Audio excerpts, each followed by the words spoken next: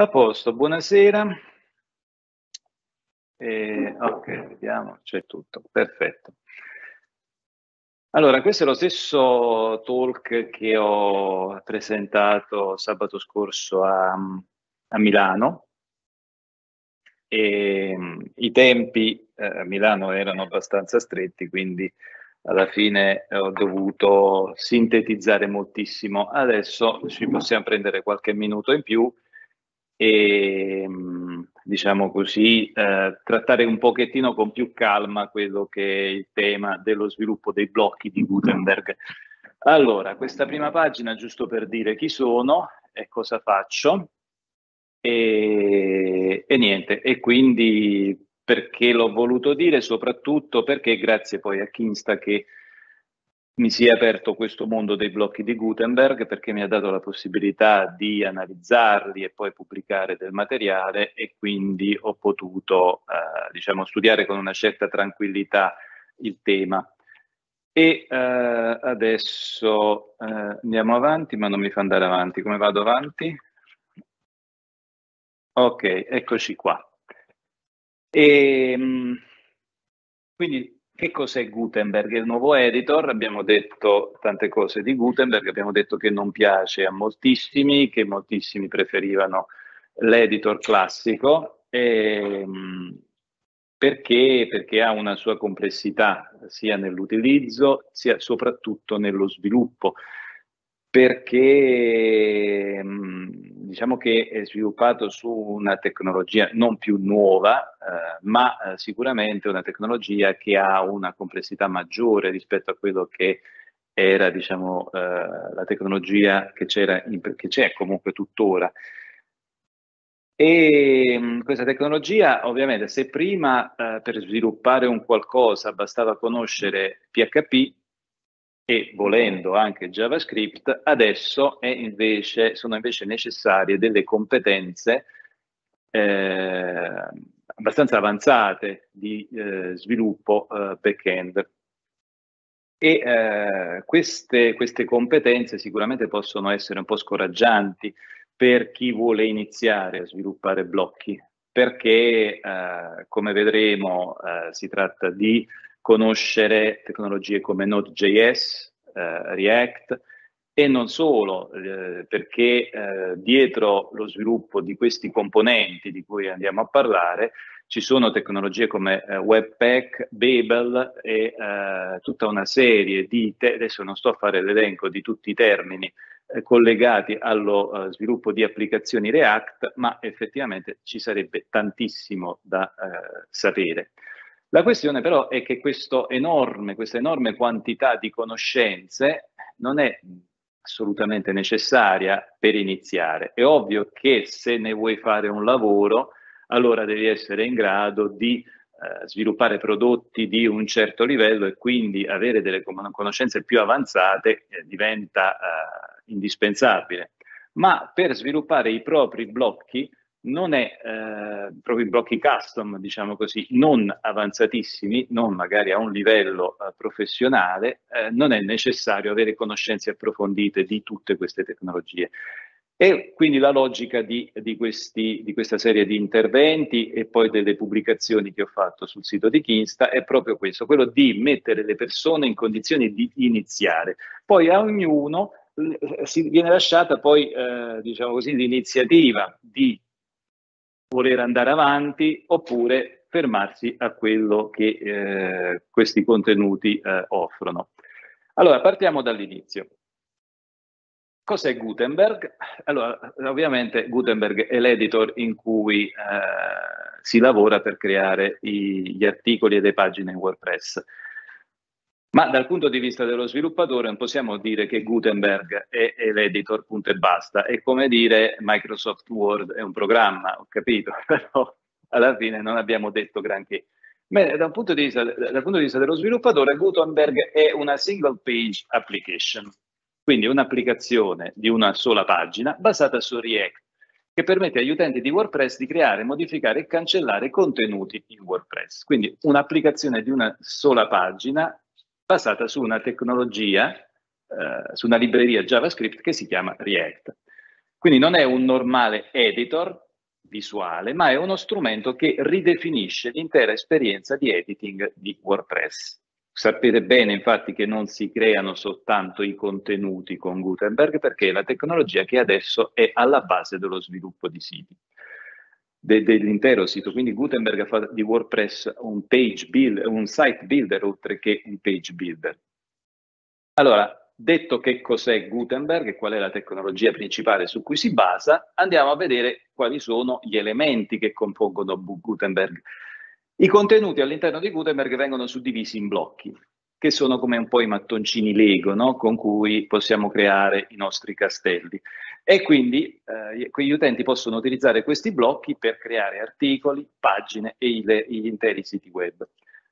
E quindi andiamo sempre a porci di nuovo nell'ottica dello sviluppatore. Per uno sviluppatore che cos'è un blocco? Eh, noi vediamo un quadratino pieno di bei contenuti, ma da un punto di vista, eh, diciamo così, più professionale, blocco è il termine astratto utilizzato per descrivere unità di markup, quindi blocchi di codice che composte insieme formano il contenuto o il layout di una pagina, perché la differenza tra page builder e site builder è proprio qui. Quindi con Gutenberg si crea anche il layout della pagina e non solo il contenuto. Cosa sono questi blocchi a questo punto dal punto di vista dello sviluppatore e andando a considerare la tecnologia React? Sono titoli, paragrafi, colonne, immagini, eccetera, eccetera, i controlli della barra degli strumenti, tutto quello, tutti gli elementi grafici e funzionali che fanno parte dell'interfaccia sono componenti React. E quindi a questo punto cos'è un componente React? blocchi di codice indipendenti e riutilizzabili.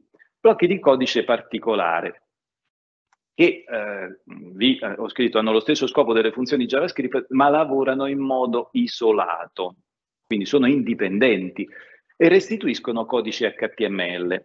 Ora, se guardate bene quella, uh, quella, blocco di codice lì dove si dice export default function edit, Vabbè, sembra ostrogoto per il momento, però non ve ne dovete preoccupare più di tanto in questo momento. Andate a guardare invece cosa c'è scritto nel blocco return. Nel blocco return noi siamo andati a inserire un codice particolare che viene definito JSX, cioè l'acronimo è JSX, Extended JavaScript. È un uh, markup un po' particolare, composto da una specie di HTML, una via di mezzo tra JavaScript e HTML, ma ha dalla sua un vantaggio enorme, la semplicità, la chiarezza. Immediatamente si capisce da quel blocco di codice che cosa succede. Beh, se avete un po' di conoscenze di HTML, P è un paragrafo, è chiaro, evidente, no? Però c'è anche qualcosa di JavaScript, in questo caso i tre puntini con useBlock props, no? E c'è ancora codice JavaScript all'interno, ossia una stringa di testo. Quindi questo che cosa ci fa capire? Che questo blocco, così piccolo blocco, chiamiamolo blocco, questo blocco di codice, cosa ci restituisce? Un semplice paragrafo con un testo all'interno. E quindi questo già vi dice qual è la logica che c'è dietro. Quindi la creazione di un qualcosa attraverso questo codice JavaScript. Ora è ovvio che andremo a vedere come eh, in modo un po' più avanzato quello che succede, però già questo ci dà l'idea di che cosa sia un componente. Ok? Allora, e quindi eh, che, cosa, che cosa dire? Adesso torniamo, lasciamo perdere per un momento il codice, il codice del, del blocco torniamo un attimino a quello che è l'editor e passiamo alla uh, modalità uh, al code editor, quindi lasciamo l'editor visuale e passiamo al, all'editor di codice. La prima cosa che ci viene subito agli occhi, ci balza agli occhi, sono quei commenti. Quei commenti hanno un significato, un ruolo, uh, un compito, una funzione, ecco, ho trovato la parola giusta, eh, in, eh, fondamentale perché dicono a WordPress che cos'è quella roba che è compresa tra il tag di apertura e il tag di chiusura. Si chiamano delimitatori di blocco. All'interno di questi delimitatori voi vedete delle informazioni che, racchiuse tra parentesi graffe, che passano a WordPress una serie di, di dati e di informazioni. In questo caso sono l'ID, site slug, l'ID dell'immagine, le dimensioni dell'immagine, la destinazione del link contenuto. Ora, in base a queste informazioni, che possiamo già definire attributi, WordPress sa come deve gestire quel blocco e in base a queste informazioni genera il codice HTML corrispondente. Quindi quello che noi andremo a produrre quando andiamo a creare un blocco è sicuramente codice che è all'interno, ma anche e soprattutto i delimitatori di blocco. Ora, questo per fare un po' il quadro no? del, eh, de, de, di, di, quello che stiamo, di stiamo, stiamo descrivendo. L'editor, che è una single page application, i blocchi che lo costituiscono, i componenti che sono quegli elementi React che noi utilizziamo per creare i blocchi. Parliamo sempre, diciamo così, dall'ottica dello sviluppatore. Ora, se aveste tutti un computer potremmo già partire, ma ci vorrebbe un po' di tempo e quindi che cos'è che ci serve adesso per sviluppare il nostro primo blocco? Prima di tutto Node.js. Poi ci serve un ambiente di sviluppo, cioè un server installato in locale, e un plugin su cui costruire il blocco. Quindi questi sono gli strumenti essenziali quindi per quello che riguarda Node.js c'è poco da dire, non ci sono alternative Node.js. Quindi andate nel sito ufficiale di Node.js, scaricate il pacchetto che corrisponde al vostro sistema operativo, lanciate il, il wizard, che tra l'altro è, è semplicissimo da installare, e avete Node.js. Node.js vi dà questo ambiente di sviluppo JavaScript server-side, quindi vi, eh, praticamente vi dà eh, la runtime all'interno della quale poi girerà il vostro codice JavaScript. Quindi non gira nel browser direttamente, ma voi potrete fare i vostri testing eh, attraverso Node.js. E eh, questo per quello che riguarda ehm, Node.js ed NPM. Adesso vediamo meglio che cosa sono. Subito dopo dobbiamo andare a installare però un server locale su cui deve girare poi eh, l'applicazione. Io personalmente li ho provati praticamente tutti e quale più, quale meno, alla fine eh, io ho sempre lavorato con MAMP fino a quando però poi non ho incominciato a lavorare con le ultime versioni di DevKinsta perché ha raggiunto un livello di stabilità eh, notevole di, ed è di una semplicità assoluta. Basta un clic per creare un sito WordPress funzionante e quindi dà la possibilità di lavorare con estrema semplicità. E poi l'installazione del plugin del blocco e dopo vediamo anche, anche questo discorso come fare. Quindi Node.js prima di tutto è un runtime JavaScript costruito sul motore JavaScript V8 di Chrome e questo è quello che vi serve sapere, niente di più. Insieme a Node.js avete anche NPM, che è il gestore dei pacchetti di Node, Node Package Manager ed è considerato il più grande registry di software al mondo. Praticamente serve a installare componenti di Node.js che ci possono servire nello sviluppo dei blocchi. Per gli ambienti di sviluppo, questi sono solo alcuni, ma sapete che ce ne sono anche altri, e qui potete comunque liberamente scegliere quello che vi sta più comodo. L'importante è che ci giri su WordPress. Quindi eh, fondamentalmente avete bisogno di eh, PHP, eh, MySQL. Con DevKinsta basta cliccare su un pulsante e il sito è installato, quindi nel caso in cui... Sì, sì, sì, funziona su Linux, su Windows e su Mac. Allora, questo invece non abbiamo ancora finito. Abbiamo detto no, eh, Node.js, abbiamo detto il server in locale e il terzo strumento che ci serve è WordPress Create Block. Allora, è uno strumento che viene eh, installato da linea di comando una volta che avete a disposizione Node.js. E per installarlo basta eseguire il comando che vedete eh, lì sul, sullo schermo, quindi npx wordpress slash create block e quel my first block è soltanto eventuale perché è il nome e lo slug del vostro blocco. Ora, se volete specificarlo, lo specificate, altrimenti passate alla configurazione manuale. Se specificate il, eh, lo slug del blocco, lui parte e fa tutto in automatico, altrimenti vi chiederà una serie di informazioni attraverso la, poi una procedura guidata.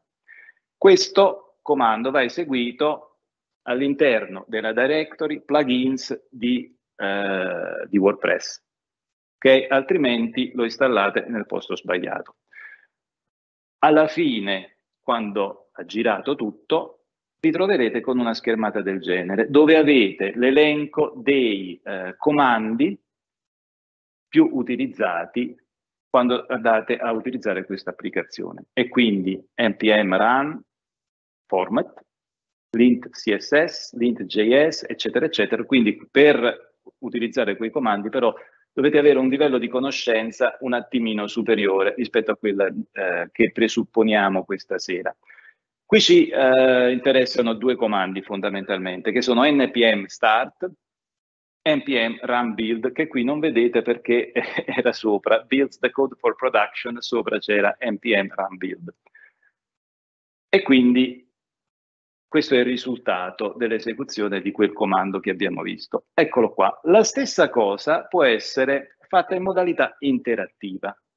Quindi lì l'installazione è tutta automatica, qui invece l'installazione è un pezzettino alla volta, quindi voi eseguite solo npx WordPress create block e poi che cosa succede? Avete tutta una serie di domande a cui rispondere. Quindi la variante del template, cos'è la variante del template? Non vi ho detto una cosa, non, non ve ne ho dette tantissime, ma ci, vorrebbe, ci vorrebbe davvero una settimana a dir tutto.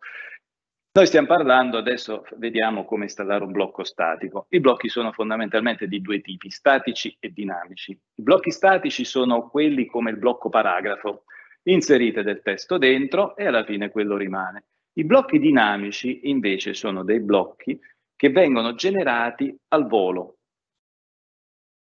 eh, in base a quelle che sono le varie interrogazioni al database, nel senso che il blocco non ti contiene un contenuto digitato una volta che rimane lì, ma ogni volta cosa fa? In, viene interrogato il database, riportati i dati all'interno del blocco e visualizzati nel front-end. Quindi questa è la differenza fondamentale tra blocchi statici e blocchi dinamici. In questo caso stiamo partendo dalle basi e quindi partiamo per forza con i blocchi statici. Il block slug, in questo caso ho cambiato nome, eh, example block, il nome internal namespace for the block, qualcosa di unico per i tuoi prodotti. Il titolo da visualizzare, ecco già passiamo alle informazioni, ai dati che vengono utilizzati per visualizzare il blocco. In questo caso è il titolo del blocco come lo vedete nell'editor. Una descrizione del blocco, anche questa si vede nell'editor la dash icon, cioè l'icona che rappresenta il vostro blocco all'interno del pannello di inserimento. Nome della categoria. Poi, altra domanda, vuoi personalizzare il plugin di WordPress? E tutte le informazioni che andate a inserire qui vengono poi utilizzate per creare l'intestazione del plugin. Non so se avete mai sviluppato plugin, però se avete sviluppato un plugin sapete che la parte superiore del file PHP principale del plugin è racchiusa all'interno di commenti e contiene tutta una serie di informazioni che dicono a WordPress come deve funzionare quel plugin. Quindi il plugin viene riconosciuto come tale e viene utilizzato in un determinato modo, eh, con delle informazioni che vengono, tipo l'autore, la licenza, eh, la descrizione, eccetera, cioè il nome della eh, versione, cioè tutte queste informazioni che vengono poi rese all'interno del backend di WordPress. E alla fine la schermata che viene fuori, conclusiva, dopo che avete inserito tutte queste informazioni, è la stessa di prima. Oh, avete già fatto, o meglio, avete installato il blocco di partenza, My First Block. Allora, quella è la, uh, la descrizione, mi sembra che questa è quella uh, predefinita. Quindi stiamo guardando il, uh, il, il plugin creato automaticamente. La versione è by the WordPress contributors. A questo punto lo attivate e siete quasi pronti a partire.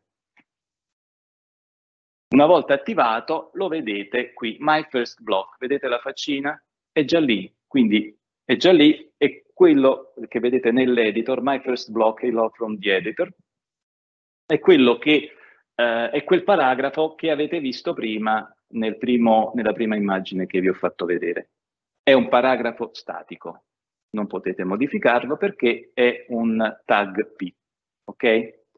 Però già avete visto che è già disponibile, quindi non dovete fare niente di complicato per mettere un blocco di avvio all'interno dell'editor.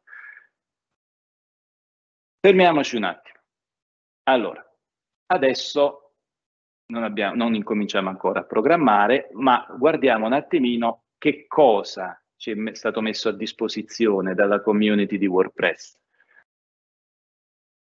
Il block scaffolding, ossia il plugin su cui voi state lavorando è una piattaforma di sviluppo, se lo vogliamo definire così, dove voi avete una serie di cartelle con migliaia di file. Adesso io ovviamente la, la cartella Node Modules non l'ho aperta perché altrimenti eh, cioè, andavamo giù di diversi piani perché sono centinaia e centinaia di componenti, di moduli che sono lì dentro.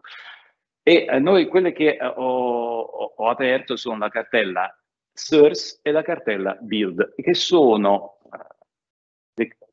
cartelle, forse le cartelle su cui passerete la maggior parte del vostro tempo, in particolare non tanto la cartella build, ma la cartella source, che, dove trovate i file che voi andate a modificare per creare il vostro blocco.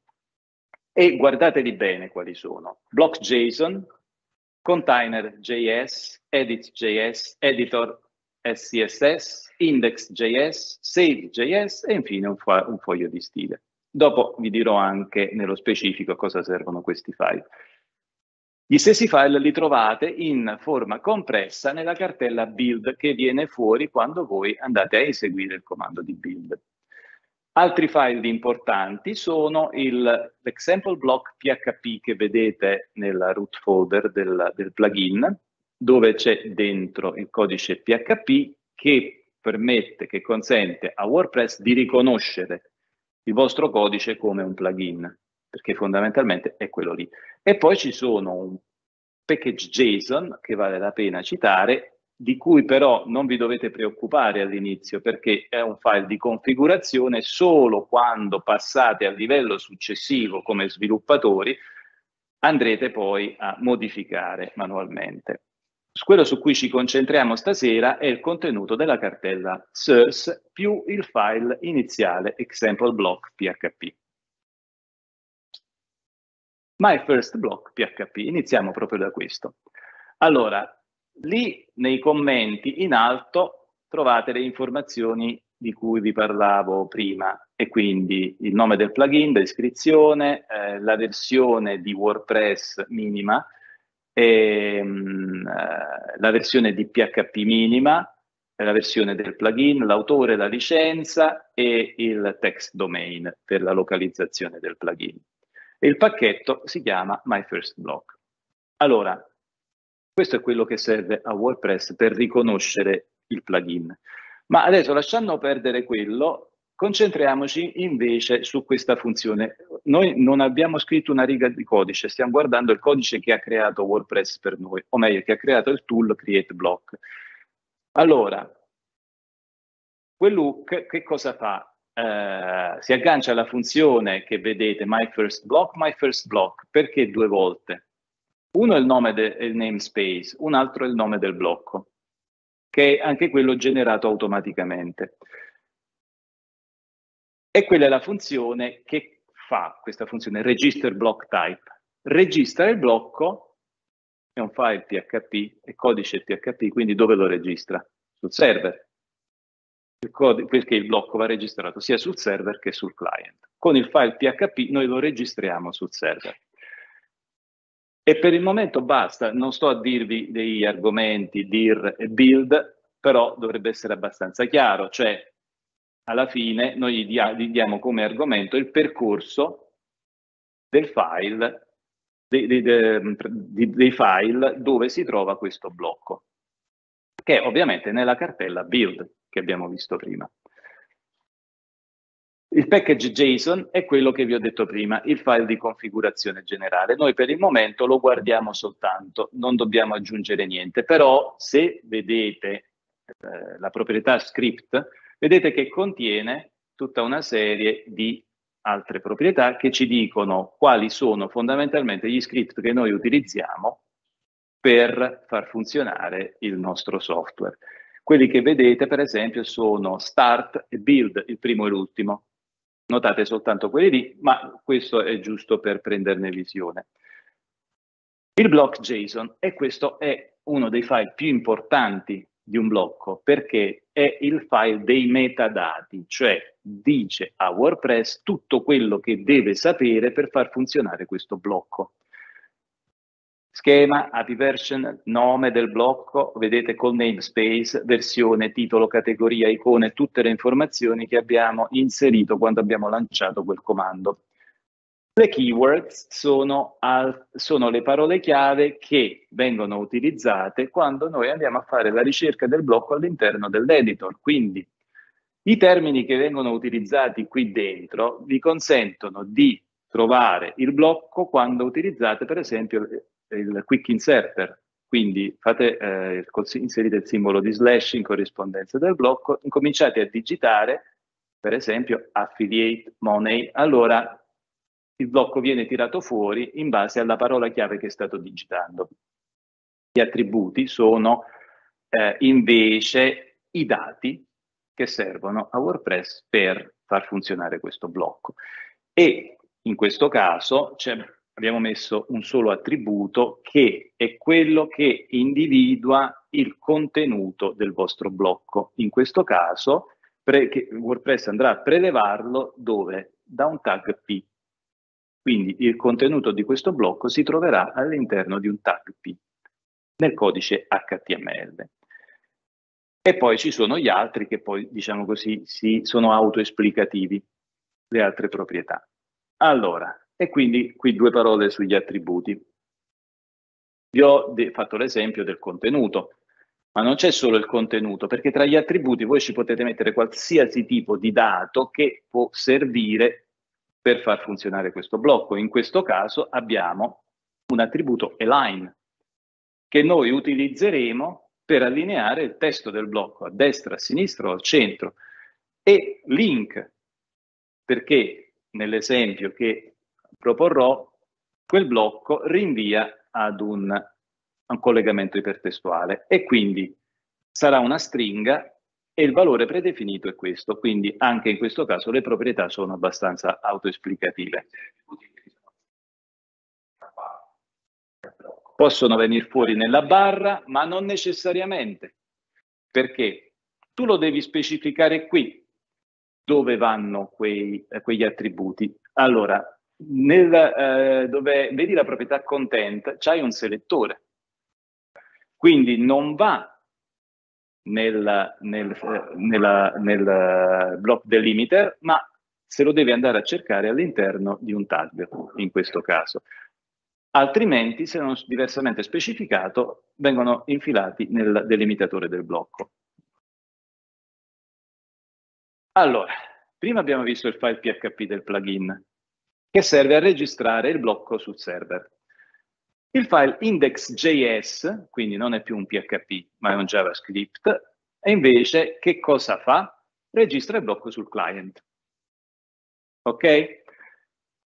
Quindi è il file da cui vengono importate le dipendenze ed è responsabile della registrazione del blocco sul client. Qui vedete la funzione che ha quasi lo stesso nome, register block type. Questa è cambiata di recente, questa funzione, perché l'API è in continua evoluzione, però più o meno il funzionamento è sempre lo stesso. Allora, voi vedete, metadata name, metadata name, andate a vedere un attimino le clausole import all'inizio. Vedete, import edit from, import save from, import metadata from.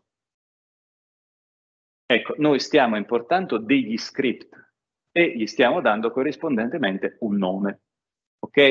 Quindi ogni volta che ci riferiamo a quegli script, noi ovviamente li richiamiamo attraverso il nome. In questo caso, metadata.name, che cosa ci dice? Allora, import metadata from block JSON. Allora, noi abbiamo il block JSON e mi aspetterei una proprietà name all'interno del block JSON. Ok? E quindi register block time, quello è il primo argomento che gli passiamo. Come secondo argomento gli passiamo un oggetto che è composto, in questo caso, da due proprietà che sono edit e save. E adesso vedremo che cosa fanno. Edit.js. Edit.js è il file che genera l'interfaccia di editing del blocco praticamente quello che noi vediamo nell'editor. Ok? Cosa vediamo nell'editor? Prima di tutto import useBlock props. Allora, questo è fondamentale perché questa funzione genera ehm, praticamente ehm, le proprietà del blocco. Se noi non utilizzassimo questa funzione che vedete lì all'interno del tag di apertura P, non avremmo tutte le classi e i dati che, ser che, che servono a WordPress per dare anche uno stile, non soltanto lo stile ma anche il funzionamento di quel, di quel blocco. E quindi è assolutamente indispensabile utilizzare useBlock props. E quindi andiamo a importarlo prima di tutto, come andiamo a importare poi quel file SAS che ci consente di assegnare, di personalizzare gli stili del blocco. E poi il codice sotto invece export default function è lì che noi andiamo a generare, a creare il contenuto che poi viene eh, reso a video e quindi attraverso quello che è il cosiddetto codice JSX, Extended Java, JavaScript. Allora, oltre al file edit.js è il file che genera il codice che si vede nell'editor. Non è quel codice lì che viene salvato, ma quello che viene salvato nel database è il codice che viene generato dal file save.js. Quindi all'inizio, visto che questi due file hanno un contenuto diverso, allora, aspetta che non torna indietro, sì, index.js, edit.js, leggete il contenuto del tag P, hello from the editor, nel file JS hello from the saved content. Quindi voi nel front-end vedrete questo tag P, mentre nell'editor vedrete quest'altro. Ok? Quindi, l'avevamo visto in una slide precedente, questo è quello che voi vedete nell'editor ed è quello che è generato dal file edit.js. Ok, siamo arrivati a... Ok, abbiamo dato un'occhiata generale al tutto. Questo è quello che abbiamo ottenuto nella fase di installazione. Cominciamo a programmare. Allora, tornate al terminale e spostatevi nella directory My First Block. Eravamo nella directory plugins, ricordate quando abbiamo lanciato Create Block. Adesso che abbiamo il nostro plugin, ci dobbiamo spostare cd my first block. Ok? Entriamo nella directory del plugin. In questo caso io consiglio di utilizzare Visual Studio Code. Perché? Perché voi avete il terminale qui e avete anche i vostri file, quindi avete tutto nella stessa schermata. Eh, e qui io credo che sia molto molto più comodo piuttosto che passare da un, un, un programma all'altro. Quindi avviate il terminale dal menu che qui non si vede e poi vi viene visualizzata quella finestra di giù. E quello che bisogna fare a questo punto, avviate e digitate npm start. Che succede? npm start avvia quello che si definisce un watcher, cioè qualcuno, un qualcosa che è lì e aspetta che voi scrivete il vostro codice, salvate, CTRL S, e automaticamente ce lo avete subito all'interno del sito. Viene aggiornato immediatamente, quindi non dovete stare lì a riavviare niente, avete già tutto pronto. Quando avete finito tutto il lavoro di sviluppo, allora cosa fa npm start? npm start è il watcher e guarda tutte le modifiche che vengono fatte ai file contenuti nella cartella source. Quando invece avete finito, con npm run build, tutto il contenuto della cartella source viene compresso, vengono generati i file corrispondenti, però minimizzati, all'interno della cartella build e quella sarà la vostra cartella di produzione, mentre la cartella source sarà la cartella di sviluppo. Adesso sapete tutto. Sapete tutto quello che vi serve. Allora, queste sono le conoscenze di Node.js che dovete avere per partire, è ovvio. E queste sono le conoscenze di carattere generale che vi servono per mettere in piedi un plugin per un blocco. Poi è ovvio, da questo poi incomincia lo studio, ma parliamo già del codice, quindi l'infrastruttura, l'impalcatura noi l'abbiamo già tutta. E quindi come si aggiunge un componente a un blocco? Oh, e qui inizia, inizia la nostra avventura. Cinque passaggi. Allora, io tutto il mio investimento di tempo ehm, è, è stato praticamente impiegato per racchiudere in uh, pochi passaggi tutta l'attività di sviluppo e io ho individuato questi cinque passaggi che sono praticamente quasi sempre gli stessi qualunque cosa voi vogliate creare con i vostri blocchi. Uno, importare i componenti da un pacchetto WordPress, le clausole import che avevamo visto prima. Due, includere gli elementi corrispondenti nel codice JSX che abbiamo visto nelle funzioni edit e save. 3. Definire gli attributi necessari nel file block JSON, perché dicono a WordPress come funziona quel blocco. Definire gli event handlers, quindi qui entriamo un po' più dentro nel JavaScript e infine salvare i dati nel file save.js. Allora, il mio esempio era semplicissimo ed è semplicissimo.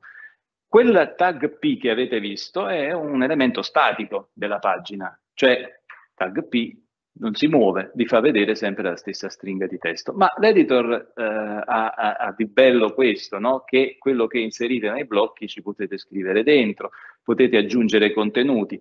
Allora, come si fa? Con un componente. Che fa questo componente? Trasforma un qualsiasi elemento di testo statico in un testo editabile. Ok? Per, per, utilizzare questo componente noi lo dobbiamo andare a prelevare da un pacchetto perché non ce l'abbiamo lì disponibile. Ok? Dobbiamo andarlo a prendere da un pacchetto o modulo che si trova all'interno di Block Editor. Quindi importiamo rich text dallo stesso pacchetto che contiene useBlockProps. Lo tiriamo dentro e andiamo a sostituire il tag P. Come lo sostituiamo? Utilizzando l'elemento rich text. Ora, tutti questi elementi, che come vedete una volta capiti quali sono e come funzionano, sono molto semplici da utilizzare, perché il funzionamento è standard per tutti. Bisogna andarsene a cercare un attimino nella documentazione di Gutenberg, del plugin Gutenberg. Quindi se voi andate su uh, GitHub progetto Gutenberg, all'interno del progetto Gutenberg troverete documentati, non tutti, ma la maggior parte dei componenti che sono disponibili all'interno dell'editor. Quindi, per utilizzare Rich Text potete andare lì dentro e nell'articolo che ho scritto per Kinsta ho messo dentro i riferimenti, quindi lì dentro trovate tutti i link su dove andare a trovare la documentazione che vi serve. Ogni elemento contiene una serie di, è dotato, dispone di una serie di attributi. A parte block props, voi avete un tag name, quindi con il tag name, adesso ditemi voi cosa facciamo col tag name, è chiaro.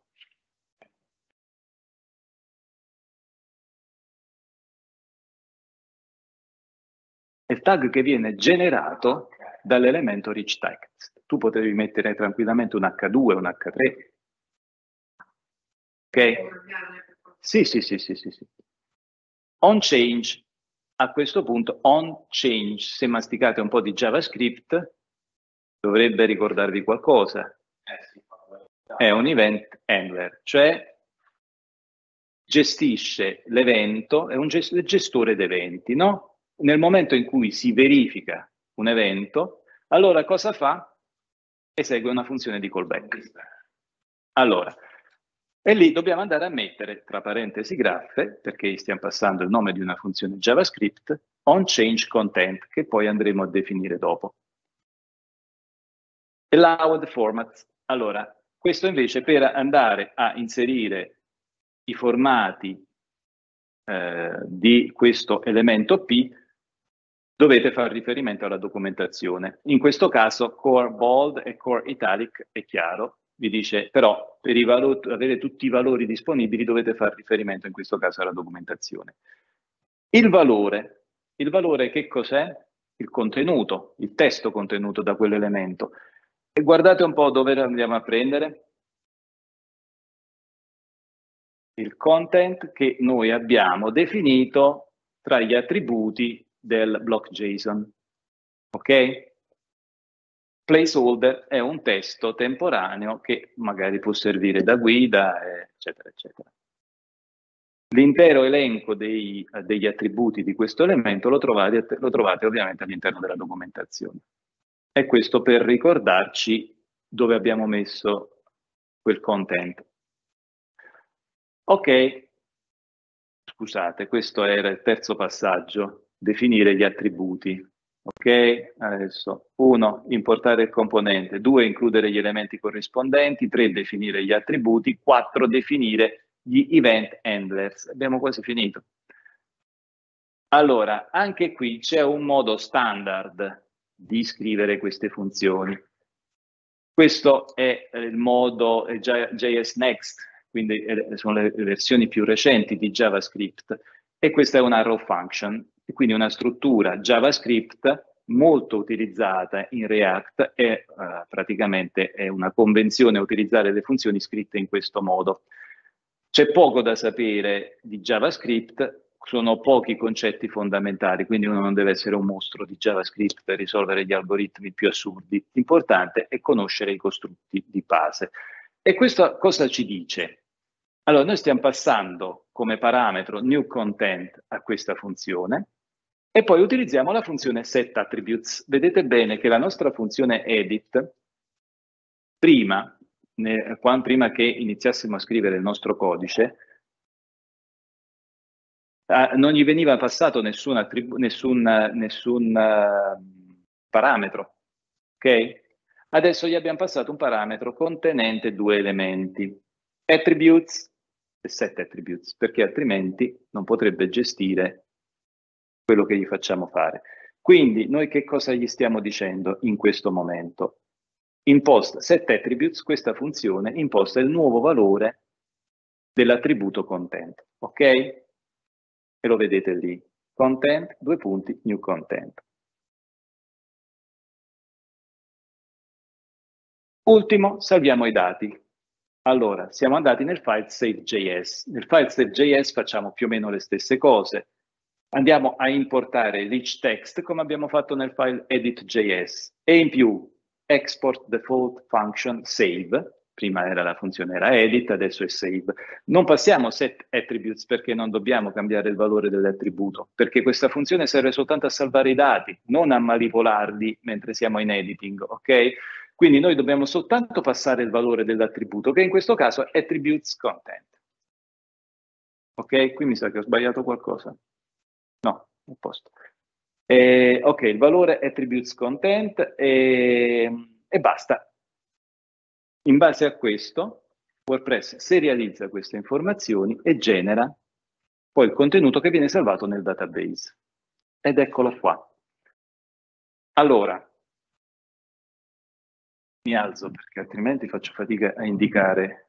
Guardate un po' che cosa viene generato da useBlockProps. Tutta questa roba qui. Allora, tutto questo ovviamente viene generato in automatico. Questo è il contenuto, content, e adesso, come vedete, qui è venuto anche il cursore, vi fa capire che il blocco adesso è, il contenuto del blocco è editabile. Mentre tutta questa roba qui viene generata automaticamente da WordPress in base a quelli che erano poi anche gli attributi che noi in questo momento abbiamo messo soltanto dentro il content, ma poi ci, ci possono essere le classi, altre classi CSS, ci può essere l'allineamento, ci possono essere un, tutta una serie di dati.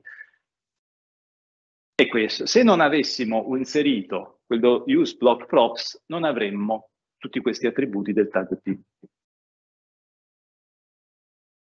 E qui ci fermiamo perché a quest'ora incomincia a venire un po' di sonno, cioè la gente vuole vedere la televisione, chi vuole mangiare la pizza, però la questione è che volevo darvi delle risorse perché parlare di uh, questa roba non basterebbe una settimana uh, per, per dir tutto e, mm, e, poi sarebbe bello comunque farlo con un computer davanti di modo che uno mm, mentre sviluppa il suo progetto poi lo si può guardare insieme.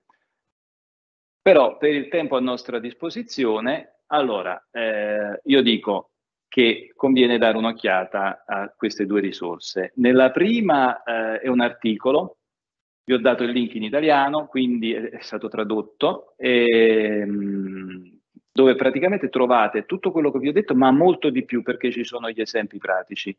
C'è un piccolo progettino eh, sviluppato, mi sono dovuto soffermare molto sulla fase di installazione e configurazione, ovviamente, per spiegare tutte le varie cose, ma eh, nella seconda parte dell'articolo c'è un intero progetto dove faccio vedere come si, eh, non soltanto il, il, tag P, ma come eh, si utilizzano tutta una serie di altri, di altri componenti, in particolare anche un componente molto avanzato che si chiama Inner Blocks, che permette di creare un blocco e inserirci dentro tutti i componenti che uno vuole. Quindi se eh, puoi inserirci dentro tutti i componenti del, eh, già del core di WordPress, ma anche altri. E quindi quello serve per creare, può servire per creare blocchi molto molto avanzati. Per esempio, se tu nel tuo blocco fai utilizzo di immagini, devi star lì a ricreare tutto da zero, perché se vai a vedere il componente che gestisce le immagini è qualcosa di mostruoso, e invece tu puoi semplicemente utilizzare il blocco core e lo inserisci lì dentro. E poi, se invece preferite il video, lo stesso identico progetto lo uh, spiego a video purtroppo in inglese, ehm, però il codice è esattamente lo stesso. Nell'articolo trovate anche tutti i link alle risorse che secondo me sono molto importanti perché in un solo articolo non puoi mai essere esaustivo perché è un, un mondo praticamente infinito. Ma il mio consiglio è quello di andarsi a cercare eh, il progetto Gutenberg su GitHub e lì all'interno della cartella eh, dei componenti eh, praticamente c'è l'elenco di tutti i componenti core e all'interno di ogni componente core c'è il readme con tutte le eh, specifiche tecniche. Quindi il componente rich text che abbiamo utilizzato ha molti più attributi, quindi uno man mano che fa le cose più avanzate ovviamente può utilizzarli in modo diverso. E direi che mh, basta così, perché altrimenti eh, bisogna, bisogna, farlo col computer, dai, per, per, come infarinatura iniziale direi che può andare.